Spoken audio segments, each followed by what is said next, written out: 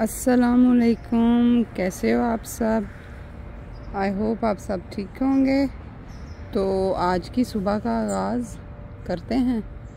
आज के क्या क्या काम हैं और किधर किधर जाना है कहाँ कहाँ से क्या क्या लेके आना है, वो आपके साथ शेयर करते हैं।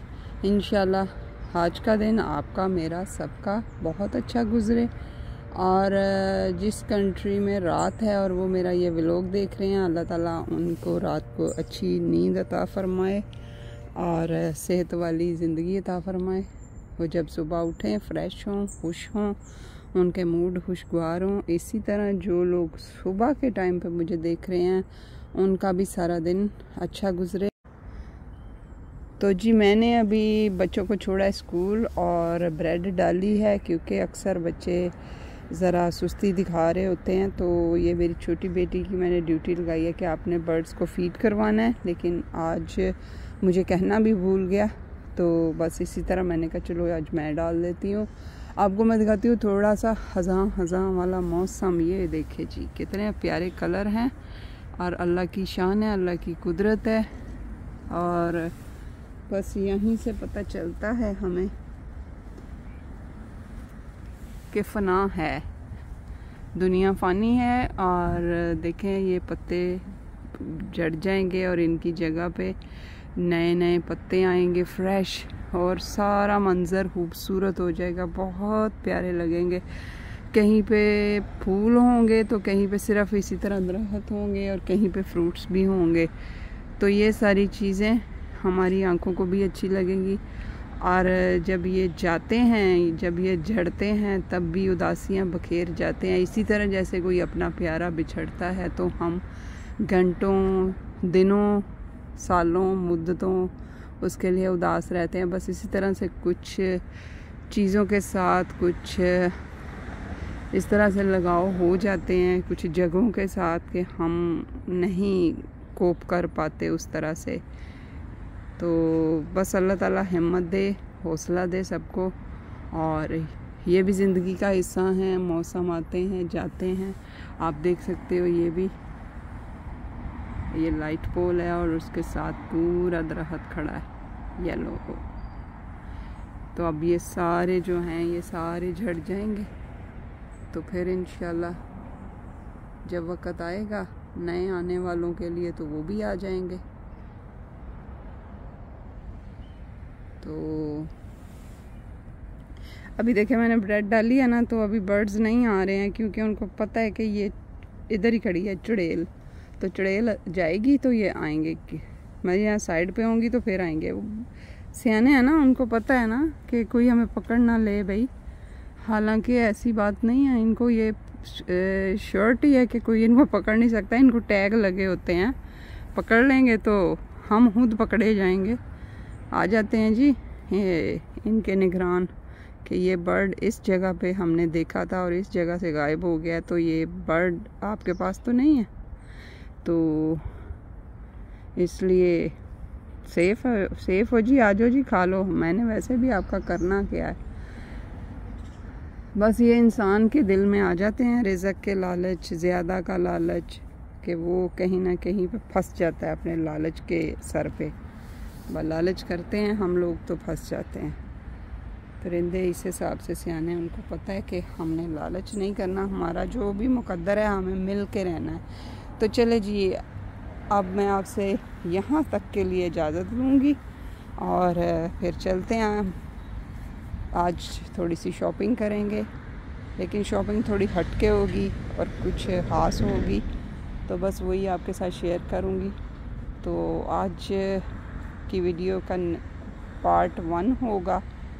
और फिर देखेंगे, अगर वीडियो छोटी हुई तो फिर पार्ट टू की ज़रूरत नहीं पड़ेगी, लेकिन अगर ज़्यादा लंबी बन गई तो जनाब फिर तो पार्ट टू हो, बनाना ही पड़ेगा।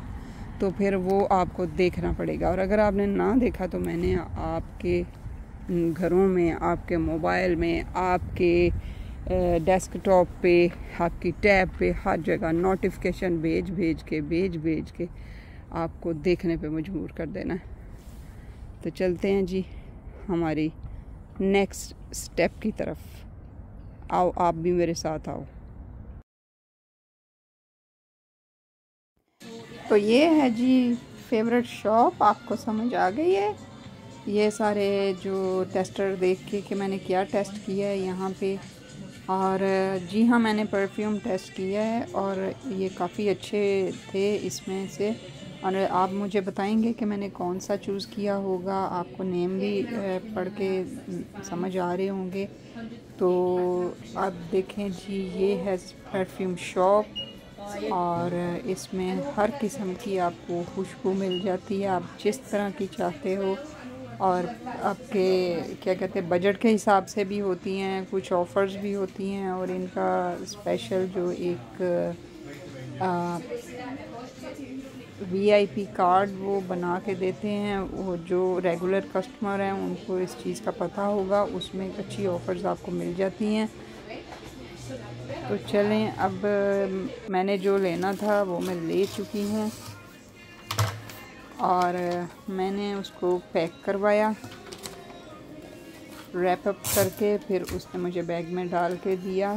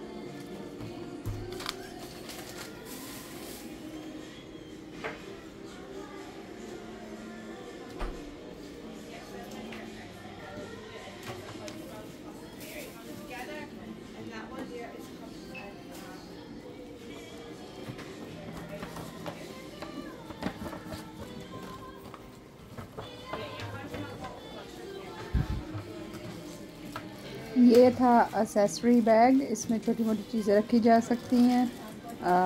जैसे आप ट्रैवल पे जा रहे हो तो इसमें आपकी शेविंग किट और आपकी बाकी चीज़ें इसी टाइप की आ जाती हैं। तो जनाब, ये भी रैपअप हो गया और इसके बाद मैं एक दूसरी शॉप में जाऊँगी, फिर तीसरी में जाऊँगी। तो बस आप देखते जाएँ और इन्जॉय करें, क्योंकि इसका नेक्स्ट पार्ट जब आएगा तो आपको कम्प्लीटली समझ आएगी इस सारी तैयारी शहरी की, इस सारी शॉपिंग की। और आई होप कि आप इन्जॉय कर भी रहे होंगे।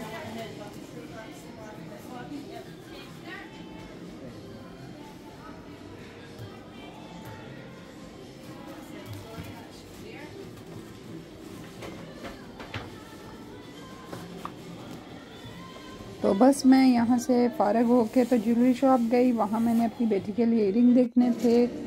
आ, और वो जिस तरह का डिज़ाइन कह रही थी उस तरह से मुझे नहीं मिले। और मैंने अपने हस्बैंड के लिए भी यहाँ से गिफ्ट लेना था।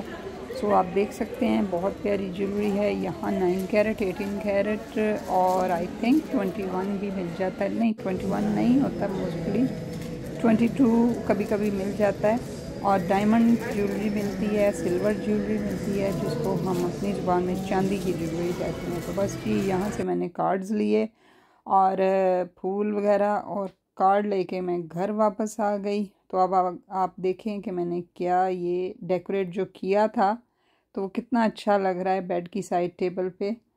तो और मैंने इसमें वो लाइट्स भी लगा दी जो एलईडी लाइट्स होती हैं। तो आई होप कि आपको ये व्लॉग अच्छा लगा होगा। स्टे ट्यून आपने नेक्स्ट पार्ट देखना है तो प्लीज़ सब्सक्राइब करें लाइक करें शेयर करें इन वो भी जल्द अपलोड होगा।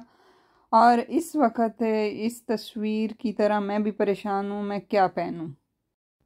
खैर ये तो सभी औरतों का आ, मसला होता है तो आप नेक्स्ट पार्ट का वेट करें और इसको तब तक आप शेयर करें लाइक करें और सब्सक्राइब करना ना भूलें।